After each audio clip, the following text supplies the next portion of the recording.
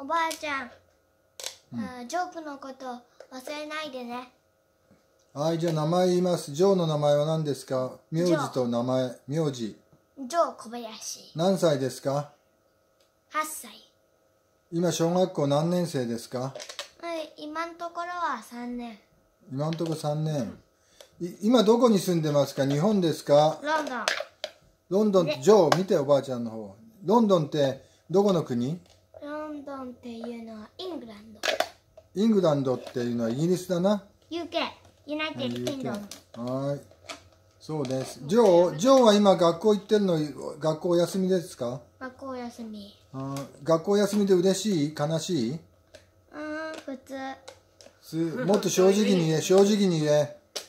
だって普通なんだもん。別にジョー君サードでもないし悲しくない？悲しくもないし嬉しくもないし。本当に嬉しくないのか？いつも嬉しいじゃないの毎日。本当に、本当に嬉しくないの？学校に行けなくって嬉しい、嬉しいってわけじゃないけど。なんで？お友達に会えないのはつまんないけど、つまんないつまんない。でもうち、うちにずっといると何ができるの？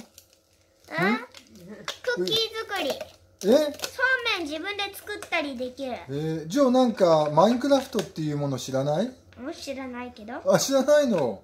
コンピューターゲームってやるの好きじゃないの？うん？ああ好きだけど。あんまりやらない？うーん。結構やるよ。お勉強終わったらやる。あお勉強の前にやるんじゃなかったっけ？いつも。違うの？たまにお勉強の前にやる。それだけ。じゃあこれからはいつもお勉強の後にやろうねゲームは決めた。やだよ。はいじゃあ。やだよやだよやだよ。やだよ。やめて はいじゃあジョーおばあちゃんに。ん？はいじゃあおばあちゃんにおばあちゃんあの何？これから夏だからあの気をつけてねって言って。これから夏だから気をつけてね。うん暑くなるからコロナね。バイルスは温度に弱いんだから。そうなの、うん。違うでしょ？よくお外いたらダメだよ。えそうなん？うん。まあ。知らなかった。温まあ度関係ないでしょ、え温度。まあちょっと弱いかもしれないって言われてるよねかも。うん。ジョー君まあ冬よりは冬よりは夏の方がマシって。